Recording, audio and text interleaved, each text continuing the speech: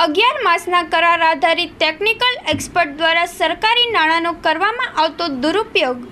કચ્છ જિલ્લામાં જિલ્લા જળસ્ત્રાવ વિકાસ એકમ કચેરીની અંદર અગિયાર માસના કરાર આધારિત નોકરી કરતા ઇમદાદ હુસેની બાંગ, જેની બદલી સાબરકાંઠા જિલ્લામાં થયેલ હોય જે કર્મચારી ત્યાં હાજર થવા માટે કચ્છ જિલ્લાની અંદર પ્રોજેક્ટ ડાયરેક્ટરને સરકાર દ્વારા ફાળવવામાં આવેલ સરકારી ગાડી જી જે બાર બીવાય અડતાલીસ જીરો એક નંબરની ગાડી લઈ ઇમદાદ હુસેની બાંગ કચ્છથી સાબરકાંઠા જિલ્લામાં બદલીની જગ્યા ઉપર હાજર થવા ગયેલ છે. તો તે કયા નિયમ અનુસાર આ ગાડી લઈને ગયેલ છે?